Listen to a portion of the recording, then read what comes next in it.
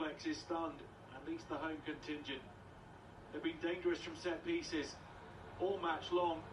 The long throw from Cisse, not dealt with by Liberia.